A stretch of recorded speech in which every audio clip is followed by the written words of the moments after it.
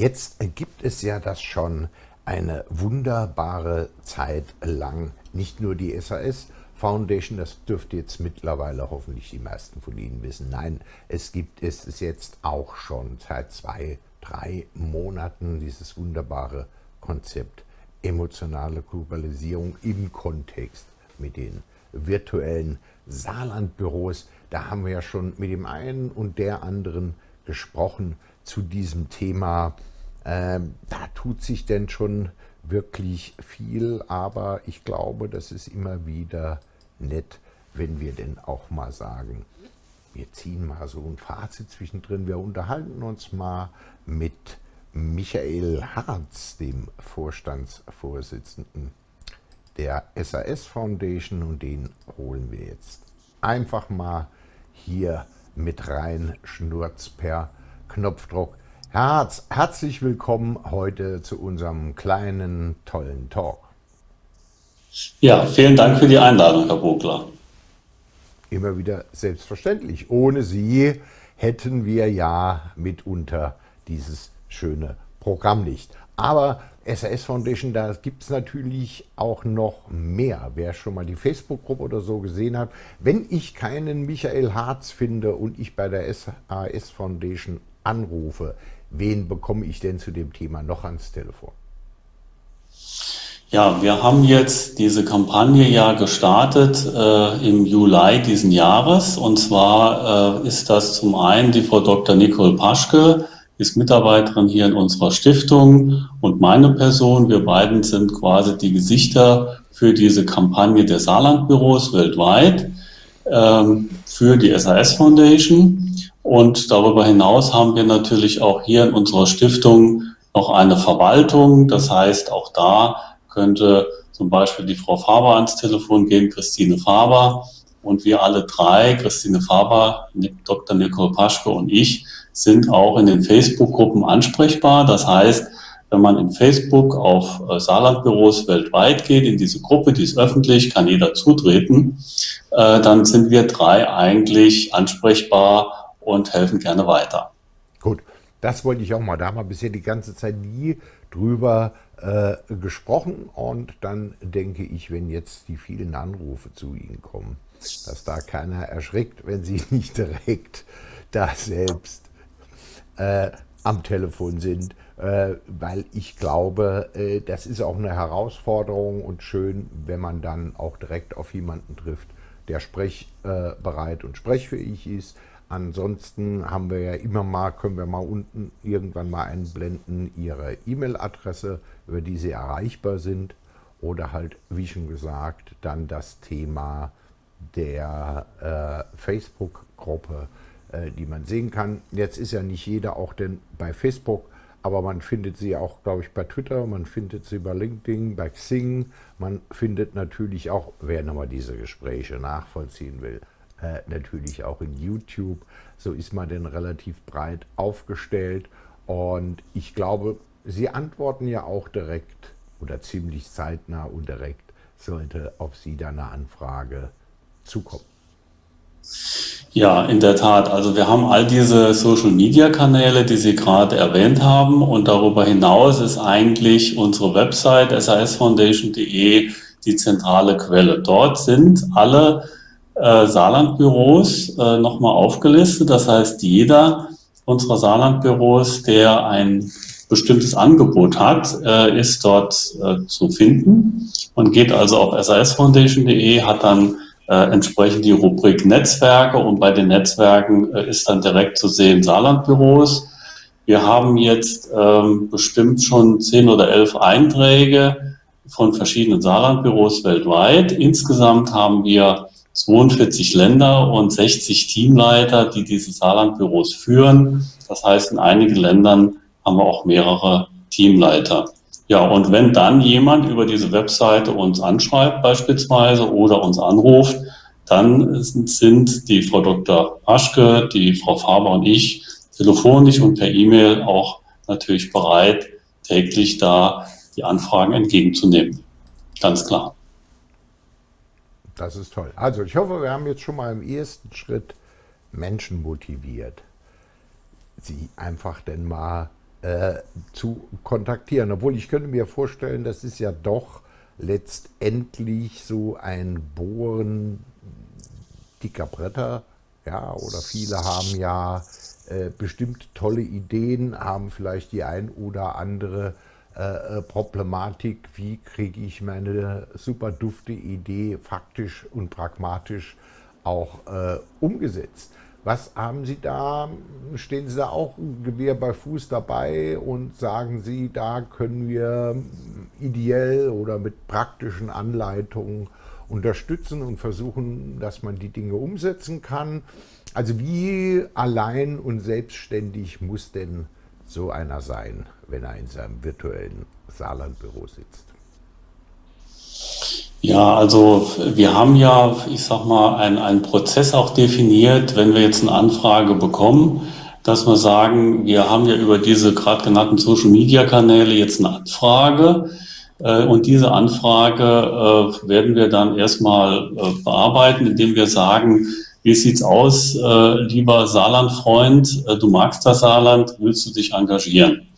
Das wäre so die erste Stufe. Und mit dem führen wir dann natürlich als erstes auch ein persönliches Gespräch. Das ist ganz wichtig, um herauszufinden, was ist denn sein Anliegen? Was möchte er vielleicht in dem jeweiligen Land, in dem er sich befindet, was möchte er machen? Möchte er beispielsweise äh, einen kleinen Freundeskreis gründen und äh, dass man sich dort in dem Land mal trifft zum, zum Networking-Treff, also auch ein Bier oder ganz ungezwungen einmal im Monat. Das wäre vielleicht so die einfachste Art der Umsetzung. Ähm, darüber hinaus ähm, sagen wir aber auch, wenn jetzt jemand noch mehr machen möchte, wenn jemand sagt, ich möchte jetzt nicht nur ein Networking-Event, sondern mein Saarlandbüro sollte vielleicht eine ganz konkrete Idee verfolgen. Äh, und dann diskutieren wir mit ihm die Idee, entwickeln sie auch weiter und überlegen, wer kann uns äh, bei der Umsetzung dieser Idee helfen wer sponsert vielleicht auch, äh, welcher Kontakt sponsert diese Idee und wie können wir äh, in dem Bereich, in dem sich der äh, Saarlandfreund bewegt, helfen. Also wir decken ja alle Bereiche ab, äh, Wirtschaft, Wissenschaft, Kultur, Sport, Gesellschaft. Und dann gehen wir mit demjenigen ins Gespräch und gucken, was, was sich entwickelt. Das sind ja schon mal gute Schritte. Ich lasse gerade unten mal die Internetseite äh, durchlaufen, damit man das denn äh, schon, mal, äh, schon mal sehen kann. Jetzt so, bevor wir uns nochmal über dieses spannende Thema emotionale Globalisierung unterhalten, was bestimmt viele nochmals interessiert, was steckt hinter dieser äh, tollen Begrifflichkeit. Wie sind denn jetzt schon so Ihre ersten Erfahrungswerte? Ich meine, wenn Sie da jetzt erst im Sommer damit gestartet haben, ist das Baby ja noch ganz, ganz äh, frisch ist da schon ein Funke übergesprungen. Sie machen ja auch Sprechstunden. Äh, da in der äh, Facebook-Gruppe habe ich schon gesehen. Äh, merken Sie, ja, das kommt an, das bewegt sich? Äh, oder sagen Sie, wir brauchen noch jetzt nochmal so den nächsten Schub innerhalb dieser äh, äh, Kampagne, um nochmal was zu bewegen? Ja, also da ist es so, man muss diese Social-Media-Kampagne muss man differenziert betrachten. Das haben wir jetzt auch gelernt in den letzten Monaten. Zum einen erreichen wir mit unseren Posts doch sehr viele Leute. Also so ein Post äh, kann 20, 40, so bis 60.000 Personen erreichen, beispielsweise auch über Facebook. Das ist sehr erfreulich. Äh, wir werden dadurch auch bekannter. Äh, auf der anderen Seite muss man aber auch fairerweise zugeben, ähm, man muss mit den Leuten persönlich ins Gespräch kommen, um eine Idee zu entwickeln. Das heißt, wir sind auf der einen Seite werden wir bekannt, auf der anderen Seite äh, gehen wir dann äh, ins persönliche Gespräch und dann werden diejenigen natürlich, äh, das sind dann schon weniger, die sagen, äh, ich möchte meine Zeit investieren, ich möchte eine konkrete Idee vorantreiben. Und da haben wir aber, und das haben wir ja auch in unseren YouTube-Videos veröffentlicht, schon einige Saarlandbüros jetzt auch neu entwickelt und eröffnet. Und die Aktivitäten äh, dieser Saarlandbüros haben wir auch vorgestellt, beispielsweise äh, vor kurzem Professor Rauber in Brasilien, in Vitória, Professor für Informatik und haben seine Ideen äh, nochmal publiziert. Also wenn man ins Gespräch geht mit den Leuten, dann kann man viel entwickeln und dann baut sich das auch sehr gut auf und dann äh, entsteht auch ein, eine, ein gewisser äh, Faktor, wo man sagt, jetzt will ich dabei bleiben und die Begeisterung, die springt dann auch über. Ja, das war ja nett. Also ich kann mich noch sehr positiv an das Gespräch mit Brasiliens Professor Rauber äh, unterhalten, äh, erinnern vor allen Dingen die Kommentare in Facebook, als er rausgeschossen hat, die Saarländer sind die Brasilianer äh, Deutschlands. Das war schon, glaube ich, ein sehr nachhaltiger äh, Effekt. Äh, das macht Spaß. Ich habe schon überlegt, ob ich nicht merchandising-mäßig T-Shirts damit bedrucken lassen soll. Äh, das war doch äh, sehr nett und sehr erfrischend. Es zeigt aber auch auf der anderen Seite, äh, äh, wie unterschiedlich jetzt diese Menschen und auch diese. Und ich hoffe, wir haben alle Töne jetzt wieder denn präsent äh, vor uns. Und äh, ich sagte, ist eigentlich jetzt spannend mit den paar äh, Talkrunden, die wir jetzt schon mit den Vertretern der virtuellen Saarlandbüros hatten. Ist es ja auch sehr erfrischend und spannend zu sehen, wie unterschiedlich diese Charaktere sind und dass es wirklich sehr unterschiedliche Interessengebieten sind, die sich aber auch bestimmt freuen, wenn sich da noch andere zusätzlich mit neuen Themen oder neuen Gebieten äh, mit andocken. Ja, absolut. Also äh, wir freuen uns natürlich, wenn es zum Beispiel der Professor Rauber jetzt schafft, eine Community zu bilden, äh, genau wie wir jetzt auch bei den anderen Saarlandbüros äh, in aller Welt es immer wieder feststellen, wir brauchen eigentlich einen der das Saarland kennt und mag in dem jeweiligen Land. Äh, das muss kein gebürtiger Saarländer sein, das kann jemand sein, der im Saarland studiert hat, äh, der längere Zeit hier gearbeitet hat im Saarland und jetzt wieder in dem Land XY lebt äh, und dort entsprechend auch arbeitet. Und wenn dieser sein persönliches Netzwerk dann einbringt, dieser Kontakt im Ausland, dann kann sich daraus natürlich ein sehr gutes, lebendiges Netzwerk entwickeln. Also einer sollte das Saarland kennen und er sollte seinen persönlichen Netzwerk dann aus dem Saarland erzählen, dass man sagt, wir haben ja in unserer Gruppe, wenn wir zusammenkommen, sowieso ganz verschiedene Themen. Und wenn wir diese Themen besprechen, dann denken wir zusätzlich dann noch an Saarland. Und wenn wir vielleicht diese Themen in der Gruppe, die ja schon existieren, dann auch verbinden mit dem Saarland, äh, dann ergibt sich äh, da denke ich eine interessante Kombination, äh, dass man sagt, wir möchten jetzt eine Brücke schlagen bei dem Thema in Saarland und so äh, dann gemeinsam mit unserer Stiftung dieses Thema weiterentwickeln. Hm, hm, hm, das ist ja spannend. Zumal jetzt ja noch als nächstes, was ja auch sehr spannend ist und ich glaube jetzt die Vielfalt äh, auch aller Aktivisten äh, äh, denn zeigt, ist, wenn wir demnächst das Gespräch mit Herrn Niehaus in Ohio haben. Ja, ähm, virtuelles Saarlandbüro, der jetzt, glaube ich, seit zehn Jahren im Ruhestand ist und in diesem Unruhestand heraus, ja, eigentlich immer noch hoch engagiert ist, sich auch mit Wirtschaftsthemen, anderen Dingen beschäftigt, da eine sehr große Initiative zeigt.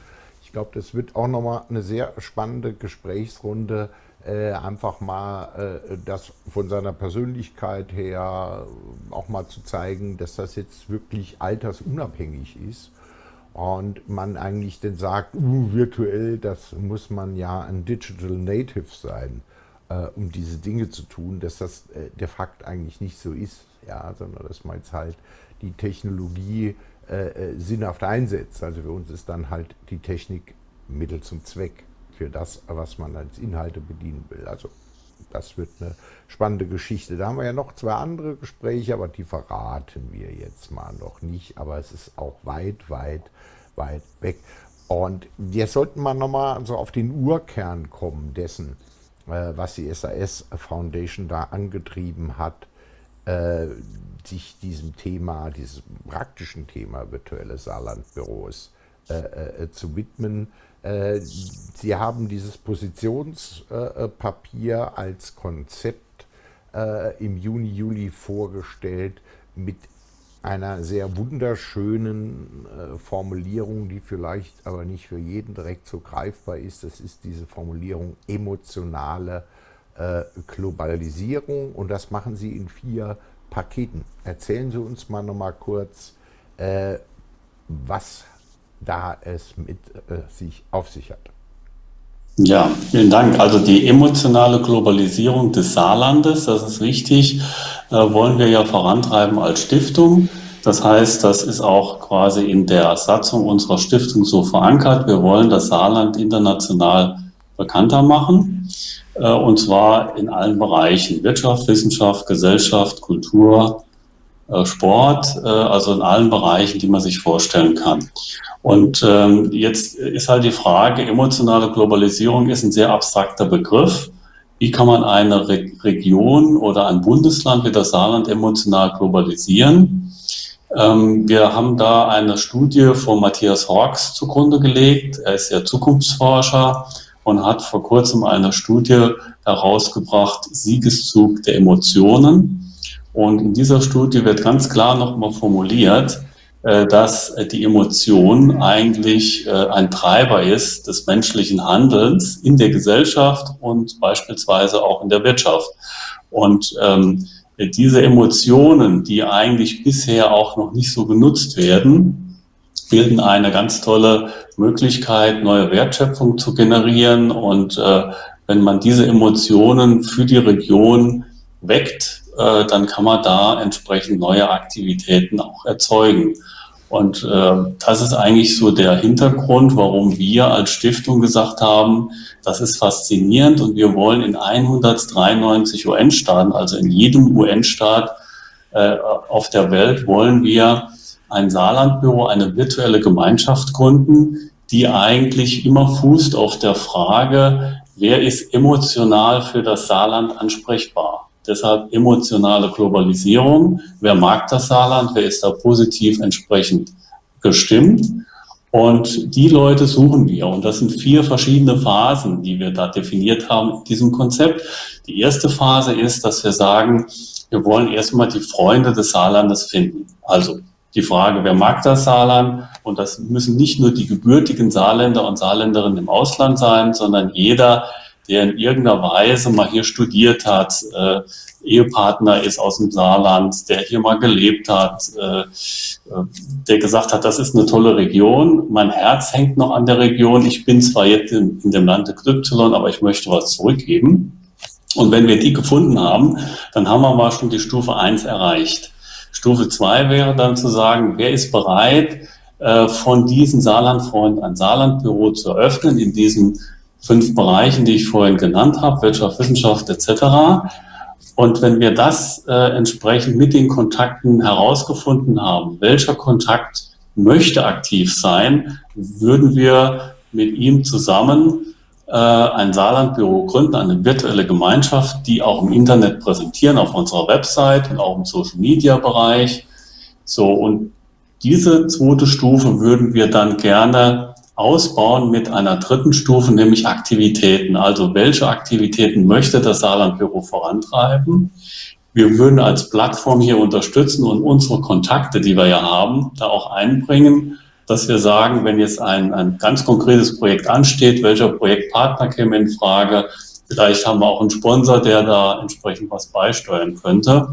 Und äh, letzter Schritt, also das wäre Stufe 4, ist auch mal zu gucken, wie sieht es denn neben der Kultur und neben der Wissenschaft aus mit dem Bereich der Wirtschaft?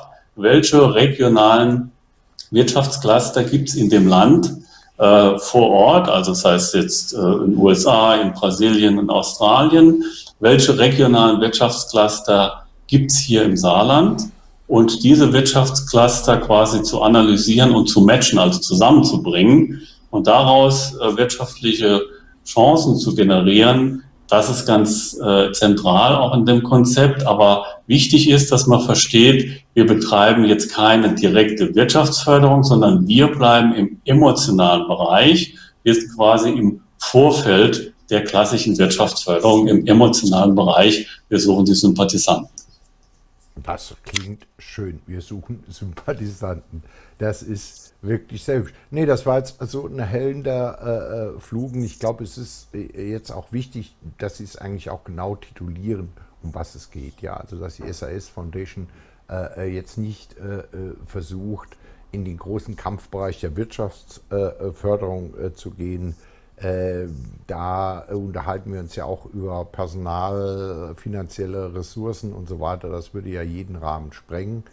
Und deshalb ist es auch, glaube ich, gut, äh, wenn man das von vornherein halt her sagt, äh, da oder da, was man unterstützt und in welche Richtung äh, das gehen soll. Und ich glaube, gerade für Start-ups oder äh, auch mittelständische Unternehmen, die sagen, ich habe da was, was man auch wirklich exportieren kann, ja, äh, in den unterschiedlichsten Bereichen, ist ja äh, dieses Netzwerken für irgendwo Türen zu öffnen oder mal Kontakte zu haben zu Menschen, die man auch äh, da mal geschützt ein Vertrauensverhältnis aufbauen kann, äh, ja auch ein ganz, äh, ganz wichtiger Punkt, oder?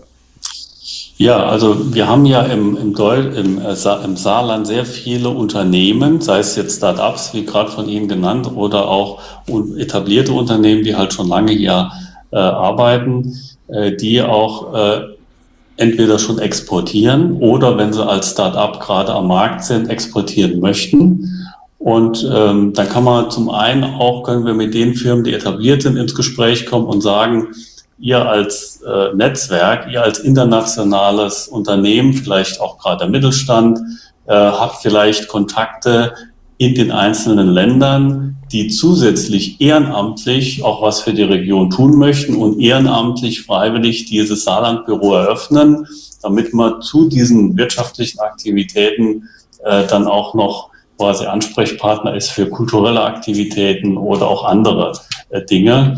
Und so können wir uns vorstellen, dass wir äh, da entsprechend auch Saarlandbüros aufbauen. Und diese Saarlandbüros von den etablierten Kontakten wären dann auch eine, eine tolle Hilfe für die Start-ups, wo, die sagen, alles ja toll, äh, jetzt gibt's da ein Saarlandbüro, jetzt haben wir da einen ganz konkreten Ansprechpartner. Und wenn wir zum Beispiel wissen wollen, ob in dem Land ein, ein Produkt, was wir entwickeln, ankommt, dann können wir vielleicht auch mal rausfinden, welcher Kontakt vor Ort äh, können wir ansprechen, um so eine Marktstudie vielleicht mal einen Auftrag zu geben oder auch noch davor, bevor eine Marktstudie überhaupt in Auftrag gegeben wird, mal zu fragen, wer ist da überhaupt Ansprechpartner für mich? Also diese Vertrauensperson vor Ort, das ist ein wichtiger Faktor. Wir suchen ja Leute, seriöse Vertrauenskontakte, die dann helfen, die, und das ist ja auch in der saarländischen Mentalität irgendwo verankert, diese Hilfsbereitschaft, diese Toleranz, äh, diese Weltoffenheit, aber auch diese Heimatverbundenheit. Und, und das wollen wir in diesem Saarlandbüro abbilden. Hm. Ich glaube, das ist auch nochmal meine persönliche Meinung, weiß ich, ob es mir da äh, zustimmt, ich hoffe es doch zumindest, äh, ist natürlich auch dann immer nochmal äh, die Frage, deshalb sehe ich eine große Möglichkeit, ist ja auch mal so das spannende Gefühl zu kriegen, ab wann ist es denn sinnvoll, überhaupt drüber nachzudenken, äh, in ein anderes Land, in einen Markt zu gehen. Ich glaube, viele machen auch den Fehler, dass sie diesen Sprung versuchen, ohne äh, sich hier ein Fundament äh, geschaffen zu haben, wo man sagen, wir sind ja hier jetzt schon auf dem Markt äh, etabliert und vielleicht diesen Sprung viel zu früh versuchen, ohne die Ressourcen, sei es jetzt personell. Ja, ich sage ja immer, die größte Ressource ist immer der Faktor Mensch ähm, ohne die Ressourcen zu haben, auch nochmal das Kapital zu haben.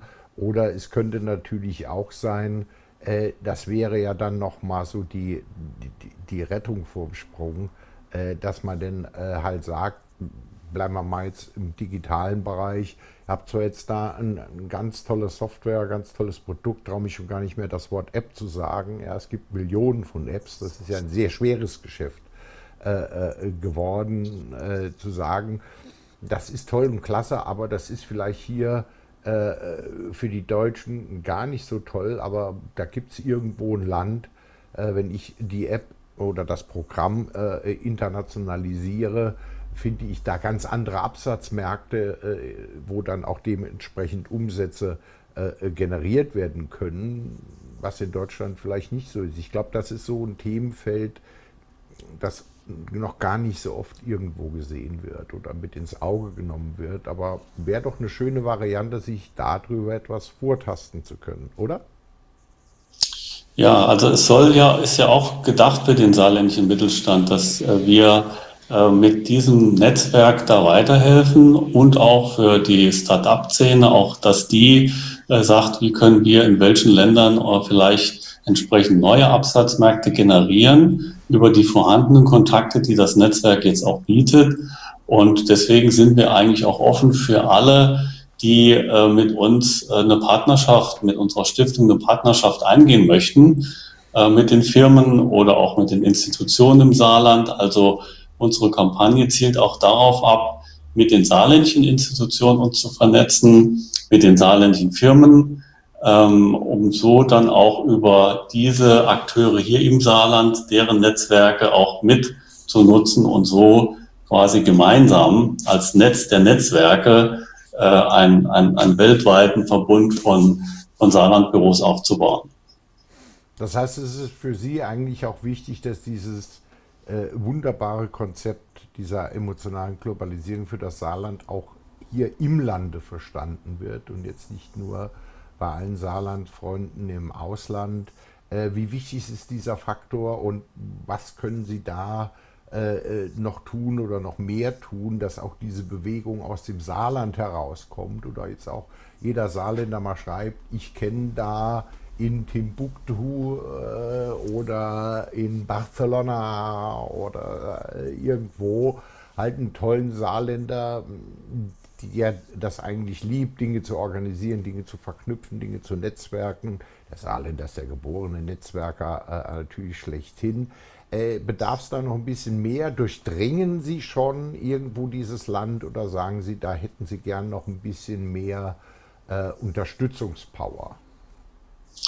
Ja, also wie eingangs erwähnt, wir sind zwar in 42 Ländern bereits aktiv mit Saarlandbüros, aber die Länder, äh, ich meine, sind ja auch einzelne Länder dabei, die riesig sind wie USA oder China. Und auch wenn wir da ein oder zweimal vertreten sind, äh, macht es durchaus Sinn, wenn man weitere Kontakte aufbaut. Oder wie ich jetzt auch gelernt habe, wenn man vielleicht auch mal einen Kontakt in Paris hat und dort ein Saarlandbüro aufbaut, äh, ist man aber auch interessiert, und wohl auch die saarländische Landesregierung interessiert, jetzt nicht nur in Paris einen Stützpunkt zu haben, sondern in den einzelnen Regionen in Frankreich, so dass man die Departements auch vertreten sieht oder die Region Grand Est oder auch andere. Und äh, das macht es eigentlich aus, dass wir dadurch, dass wir ja ehrenamtlich arbeiten, äh, unabhängig sind und über die Emotion das gesteuert wird. Das heißt, jeder, der seine Region, wir mal bei dem Beispiel Frankreich, repräsentieren möchte, kann auch auf uns zukommen. Insoweit ähm, ist es jetzt nicht so, dass wir sagen, wir haben jetzt 42 Länder und das ist damit gut, sondern da gibt es noch viel Potenzial nach oben. Ja, das heißt aber auf der anderen Seite, wenn's mal, wenn man es mal runterbricht, die große Stärke unseres geliebten Föderalismus in einzelnen Regionen denn halt zu sein. Sagen Sie, das wäre auch denn die Stärke äh, für dieses Thema nach vorne zu bringen, für zu netzwerken, dass wir viel mehr regional in Regionen denken müssen. Also dass wir jetzt, äh, ich sag mal jetzt schon nicht wieder sagen, in Frankreich hat man sich jetzt entschieden, äh, da jetzt den Bezirk Grand Est zu machen und damit sage ich einmal, Grand Est reicht, sondern dass wir dann halt wirklich hingehen und sagen, das muss im Elsass jemand sein, es muss in Lothringen jemand sein ähm, und nicht jetzt immer nur in diese großen Flächen, sondern wirklich zu versuchen, ich sage es mal so, einen SAS-Föderalismus äh, irgendwie zu etablieren, äh, um da auch wirklich in die Breite gehen zu können. Ja, also Matthias Hawks verwendet ja diesen Begriff der Glokalisierung, also Globalisierung und lokal, ne, lokal. Äh, das heißt, äh, wir denken ja jetzt auch gerade in Corona-Zeiten immer mehr daran, äh, dass wir jetzt lokal und in Regionen denken und wie wir dieses Lokale in der Welt vernetzen. Und ähm, ja, auch die Städte denken ja mittlerweile so, dass, dass sich die Städte vernetzen untereinander virtuell und so auch gewisse Regionen sich vernetzen untereinander. Und äh, so denke ich, muss man das jetzt auch sehen. Wir definieren ja das Saarland als, als ein emotionales Wir.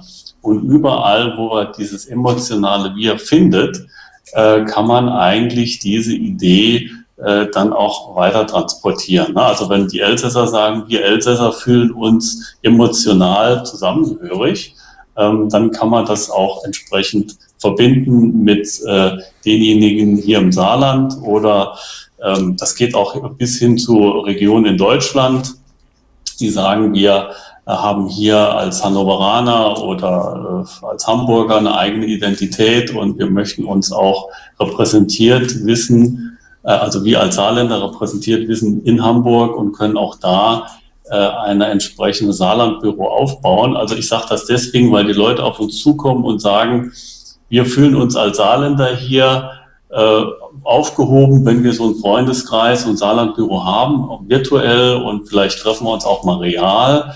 Und deswegen muss man immer in diesen in diesem emotionalen Wir, in dieser, äh, in dieser Identität denken, in diesem Identifikationsgefühl und kann so, denke ich, schon vieles verbinden. Ja, es gab ja schon immer in Berlin einen Saarländer Stammtisch, glaube ich, zwischen 90 und 110 äh, Exilsaarländer, die sich da denn äh, immer treffen. Klar, da haben Sie jetzt eigentlich schon mal ein gutes Beispiel gebracht, das gibt es auch. Aber das emotionale Wir ist, wer dann eigentlich auf Saarländisch, könnte man aus dann aufs Shirt schreiben, gefiel's mir. Ja, das ist, wäre dann ja schon zumindest mal die rein fränkische Übersetzung. Äh, das kommt gut. Aber jetzt will ich mal noch in eine zweite Runde äh, gehen, äh, weil wir jetzt eigentlich immer drüber reden, diesen Effekt. Es ist der Saarländer, es ist ein virtuelles Saarlandbüro irgendwo und der Saarländer will aus dem Land heraus äh, irgendetwas tun, sei es jetzt kulturell, gesellschaftlich, man darf ja auch das Thema NGOs äh, nicht vergessen. Letztendlich sind sie als HS Foundation auch ein NGO. Ja, ein äh, schönes Wort für ehrenamtliche gemeinnützige äh, äh Tätigkeit. Äh, NGOs äh, nicht vergessen. wie sehen Sie denn den Effekt jetzt mal umgekehrt, wenn jetzt ein Saarländer sagt, Mensch, ich habe da eine tolle Idee, sei es eine kulturelle oder ich suche eine tolle Idee, gesellschaftlich-kulturelle, ich habe da so ein Thema, das ich gerne hier im Saarland transportieren will oder natürlich auch äh, Dienstleistungsidee, irgendwas für hier äh, ins Land zu nehmen. Äh, sind Sie der Meinung oder schätzen Sie auch, dass dieser umgekehrte Weg halt funktioniert, dass man jetzt zum Beispiel, bleiben wir jetzt mal bei Rauber, der unvergessen war äh, in der Gesprächsrunde, äh, der ja da zum Beispiel gesagt hat, die Brasilianer sind unheimlich auf Social-Media-Geschichten, Kommunikation, online und so weiter äh, ausgelegt. Meinen Sie, es funktioniert auch so, dass der zum Beispiel sagen könnte, ich habe hier ein ganz tolles Produkt oder eine ganz tolle Struktur, wie man neue NGOs äh, kreieren, konstruieren äh, oder auch umsetzen kann. Wäre das nichts für euch im Saarland? Wird dieser Weg so auch funktionieren oder meinen Sie, es geht immer nur aus dem Saarland raus? Nee, also das ist ein ganz wichtiger Hinweis nochmal. Das soll natürlich keine Einbahnstraße sein, ne? so One-Way-Ticket, also vom Saarland in die Welt, sondern auch natürlich umgekehrt von der Welt ins Saarland. Äh, und da denke ich, das ergibt sich durch den Austausch. Also wenn dann die entsprechenden Akteure, jetzt bei dem Beispiel in Brasilien und bei uns im Saarland, äh, dann miteinander in Kontakt treten und sich da austauschen, dann werden ja ganz konkrete Themen besprochen. Und äh, man kann dann schon sagen, auch wir als Netzwerk, wenn da ein Thema aufkommt, äh, ein ganz konkreter Punkt, ähm, wie jetzt äh, in Ihrem Fall vielleicht ein Startup, das eine ganz tolle Idee hat, äh, findet das jetzt vielleicht auch umgekehrt hier im Saarland äh, Zuspruch, könnte man da auch eine gemeinsame Initiative starten, äh, wirtschaftlich gesehen oder wenn man kulturell das sieht, äh, vor dem Hintergrund der Völkerverständigung könnte man da ein gemeinsames kulturelles Projekt draus machen. Also es soll immer in beide Seiten gehen. Und das ist ja eigentlich das Spannende, dass wenn jeder Akteur sein, sein Thema einbringt, dass äh, in der Gemeinsamkeit auch nochmal was ganz Neues entstehen kann. Ne? Also dass man zwei Ideen vorher hatte, die zusammenkommen und dann dadurch ein neues Ganzes entsteht. Wäre wär auch eine Möglichkeit. Hm, hm. Entdecken Sie damit eigentlich auch gerade eine neue Organisationsstruktur, Kommunikationsstruktur, für NGOs Wesen, wenn Sie jetzt sagen, wir machen das Thema als emotionale Globalisierung und als virtuelles Büro, sind Sie da drin in Gänze? Ein tolles neues Projekt, auch ideelle äh, äh, Geschichten umzusetzen, zu strukturieren, organisieren? Oder sagen Sie eigentlich, das ist jetzt rein für dieses Projekt solitär und würden Sie vielleicht für andere Projekte so nicht umsetzen? Ähm, das heißt, die Frage, also ich sage mal, wir als Stiftung verstehen uns ja immer als Plattform. Das heißt, wir selbst können ja das Projekt auch nicht direkt umsetzen, sondern suchen immer Mitstreiter, suchen Kooperationspartner, damit das Projekt auch gelingt. Äh, insoweit ähm, haben wir diesen Plattformgedanken. Der ist vielleicht, vielleicht verstehe ich die Frage so richtig, ähm, relativ neu dann, dass wir sagen, wir arbeiten jetzt nicht in diesem klassischen Sinn. Wir haben als Verein ein ganz konkretes Ziel und äh, sind bei diesem Ziel jetzt dabei, sondern wir haben diesen Plattformgedanken und sagen, die Ideen, die an uns herangetragen werden, die verbinden wir und wir bringen die Akteure zusammen und wir helfen, dass sich das Projekt dann weiterentwickelt und wir berichten dann über das Projekt, damit andere kommen und sagen, ich möchte auch in meinem Land was Ähnliches machen oder was anderes und ich finde toll, dass es überhaupt so eine Möglichkeit gibt. Also über dieses äh, Geschehene zu kommunizieren und da weitere Mitstreiter zu gewinnen, äh, das ist auch ein wichtiger Punkt für unsere Stiftung. Hm. Ja, weil das, wie gesagt, das ist ja so ein, ein neuer Weg, der sich damit irgendwo generiert. Ja, und vielleicht nochmal spannend für viele äh, äh, andere Dinge oder andere Situationen. Die SAS ist ja jetzt nicht das erste Projekt äh, der SAS Foundation. Da haben sie ja schon wirklich äh, in den vielen Jahren viele tolle äh, Projekte auf den Weg gebracht.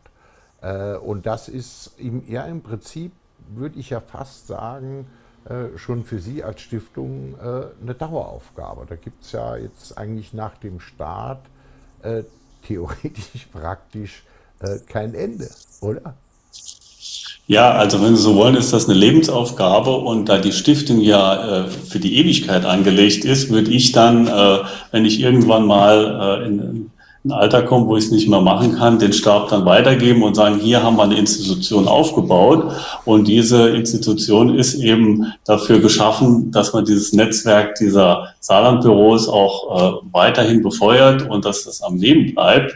Also so ist es vom, von der Stiftungskonzeption angelegt und wäre natürlich toll, wenn das äh, sich immer weiter äh, entwickeln würde und auch, äh, wenn man das jetzt nicht von heute auf morgen dann wieder alles auf Eis legen würde, ähm, da würde ich mich sehr drüber freuen. Ja, aber das ist ja so ein wichtiger Aspekt, auch wenn das jetzt äh, jemand tun möchte, dass das jetzt wirklich jetzt nicht äh, Projekt ist ja oftmals so das Wort, ich fange irgendwo an und höre dann irgendwo auf, dass das wirklich dauerhaft angelegt ist. Äh, was natürlich auch heißt, wenn irgendjemand äh, dann sagt, ich habe jetzt keine Zeit mehr, mein virtuelles Saarlandbüro zu betreiben, kann man ja auch gerne direkt mal einen Nachfolger suchen, ja, oder dann halt dementsprechend neu begründen. Ich glaube, wichtig ist jetzt schon, dass man diese Botschaft äh, rüberbringt, dass das jetzt wirklich sehr lange laufen soll, dass wir jetzt nicht krampfhaft versuchen müssen, äh, auf die Schnelle irgendwelche super Leuchtturmergebnisse äh, zu bringen, weil man hat ja jetzt eigentlich auch wirklich Zeit, das seriös, sehr solide, sehr durchdacht aufzubauen und dann in diesen Langzeitbereich zu denken. Übrigens, ich werde natürlich sauer, wenn Sie vor mir in den Ruhestand gehen. Darüber sind Sie mir sicher schon äh, im Klaren, dass ich dann hier trotz virtuellem Homestudio abfackle. Aber darüber müssen wir uns, glaube ich, nicht unterhalten. Also dann hoffe ich doch, dass Sie diese Themen noch sehr, sehr, sehr, sehr, sehr, sehr lange äh, bespielen können. Ja, vielen Dank für den Hinweis nochmal. Äh, und zum anderen muss man sagen, es ist schon auf Dauer angelegt, die Stiftungskonzeption, aber auch, und denke, das ist auch noch ein wichtiger Aspekt, dass wenn jemand an einem konkreten Projekt interessiert ist, das zeitlich befristet ist, dass wir das natürlich dann auch aufnehmen und mit begleiten. Und äh, weil das haben wir auch jetzt gelernt, dass gerade im ehrenamtlichen Bereich dieser Trend immer mehr äh, zu gewissen Projekten hingeht. Und ähm, auch das ist ja für ein Saarlandbüro möglich, dass man sagt, da ist eine Struktur als Saarlandbüro, da ist eine Plattform, die wird ein spezielles Projekt vorantreiben und irgendwann ist das Projekt beendet, man kann ein neues Projekt beginnen, sodass dann auch die Teilnehmer sich verändern können. Also das ist alles sehr flexibel gedacht. Hm, hm, hm. Ja, ich glaube, das ist ja auch sinnvoll, dass man praktisch so Organisationsstruktur äh, schafft, wo man viele unterschiedliche Projekte äh, platzieren kann. Und ich glaube, es hängt ja auch dann wieder individuell äh, an jedem Einzelnen, wo er sich sieht, ob er sagt, das ist so mein Thema, auf das ich mich fokussiere, auf das ich mich spezialisiere, oder äh, dass er halt sagt, wie Sie das am Anfang ja schon schön äh, aufgelistet haben, äh, zu sagen, das kann alles sein, das kann Kultur sein, das kann Gesellschaft sein, das kann Wirtschaft sein, also die Palette sind ja schon unheimlich groß dahingehend wäre es natürlich toll. Oder kann natürlich ja auch sein, äh, dass zwar jetzt einer sagt, ich mache mein virtuelles Saarlandbüro äh, dort, aber jeder kann sich ja auch äh, anschließen und das kann man ja auch zu dritt, zu viert, zu fünf, zu sechs betreiben. Ich glaube, das ist ja auch ein wichtiger Punkt. Oder äh, ich sage es mal so, äh, wenn jetzt ein Verein äh, äh, da wäre und sagt, wir würden gern ein virtuelles Saarlandbüro sein, sagen sie auch nicht nein, weil ich sag mal, ich glaube, es gibt in Florida äh, 56 oder 80 äh, äh, Deutschlandclubs, ja, also ehemaliger Deutscher oder äh, Nachkommen von Deutschen, so kann ja auch jetzt mal irgendwo sagen, wir sind, es gab 1900 34 auch ein Club der Saarländer in New York. Da habe ich noch ein historisches Bild. Jetzt weiß ich gar nicht, ob es den in New York noch gibt. Äh, äh seitdem müssten wir mal äh, sehen. Aber im Prinzip könnte jetzt auch ein Verein, Institution, NGO kommen und sagen, wir werden ein virtuelles Saarlandbüro. Das muss ja nicht an Einzelpersonen äh, verhaftet werden, oder? Ja, richtig. Also ähm, wir haben, ich sage mal, zum einen die Saarlandbüros mit den Saarland-Experten in dem jeweiligen Land. Wir haben ja auch zum anderen jetzt hier im Saarland Länderexperten für das Saarlandbüro im Ausland. Das heißt, das kann zum Beispiel eine saarländische Auslandsgesellschaft sein, äh, ja, japanisch, mexikanisch, georgisch, wie auch immer. Es gibt ja sehr viele Gesellschaften hier im Saarland. Und mit diesen, wie wir es nennen, Länderexperten können wir dann auch gemeinsam äh, das Saarlandbüro äh, quasi unterstützen. Ne? Dass ich sage, ähm, beispielsweise jetzt Mexiko, bringe ich mal das Beispiel. Wir kooperieren hier ja auch als äh, SAS Foundation mit der Deutsch-Mexikanischen Gesellschaft im Saarland. Und warum sollten wir nicht dann also die Deutsch-Mexikanische Gesellschaft als Länderpart und wir als Stiftung gemeinsam ein Saarlandbüro in Mexiko betreiben? Äh, und auch umgekehrt, wenn man jetzt guckt, wer ist in Mexiko, welche Organisation, äh, dann kann die auch jemand in das Saarlandbüro quasi delegieren und sagen, auch, auch du bist oder ihr seid mit äh, Teil dieser, dieses Netzwerks. Also das ist in, in jederlei Hinsicht sind wir da offen und das ist ja, wie gesagt, Netzwerken, wir wollen ja alle einbinden und integrieren. Das ist die Idee. Dann hoffen wir jetzt, dass Dr. Harald Schneider jetzt diese Talkrunde hier sieht und Sie morgen dann direkt anruft und sagt, selbstverständlich macht die äh, deutsch-mexikanische Gesellschaft Saarland äh, mit Ihnen zusammen ein virtuelles äh, äh, Saarlandbüro. Wenn nicht, rufen wir ihn an und lassen ihm die Passage hier vorspielen an der Stelle. Da sind wir ja relativ äh, skrupellos. Oder wie man bei uns denn im Saarland sagen würde, haschte gehört, was er gesagt hat. Ne? Das wäre Wobei, vielleicht da noch eine Anmerkung. Also ich habe mit ihm natürlich auch im Vorfeld schon darüber gesprochen und äh, habe von ihm ein positives Feedback. Also die Absicht ist da. Gerne können wir da zusammen was machen. Die Frage ist immer nur wie und wann, aber da haben wir auch schon Ideen, aber das müssen wir natürlich dann wieder bilateral weiterentwickeln. Okay, dann bin ich gespannt, wann wir den ersten Talk nach Mexiko äh, machen. Ich gucke mal, ob ich noch irgendwo ein Sombrero äh, und äh, ja, äh, zu Hause hätte. Das würde denn doch Spaß machen. Ich glaube, jetzt sind wir heute nochmal wirklich ein gutes Stück in der Kommunikation näher gekommen. Ich glaube, waren auch wirklich sehr viele, äh, vielen Dank, Herr Harz, viele erhellende Aspekte nochmal dran, was man da alles tun kann. Ja, das ist auch, glaube ich, wichtig, dass man sich damit auseinandersetzt in diesen Kontexten. Was ist möglich, was kann man tun oder welche Konstellationen kann man sich vorstellen? Äh, weil ansonsten ist das, glaube ich, vielleicht auch manchmal ein bisschen schwer äh, greifbar. Virtuelles Thema kann auch zu virtuellen Verwirrungen führen. In diesem Sinne werden wir jetzt als nächstes das äh, Gespräch denn wohl machen mit Ohio.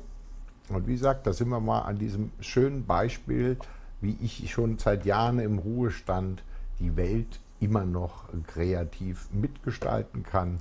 Das wird sehr hübsch. Und dann halt vielleicht in ein, zwei Wochen wieder eine kleine äh, Resümee-Talk-Geschichte wo wir den ganz einfach sagen können, was hat sich jetzt als nächstes bewegt. Wir freuen uns natürlich auf Kommentare.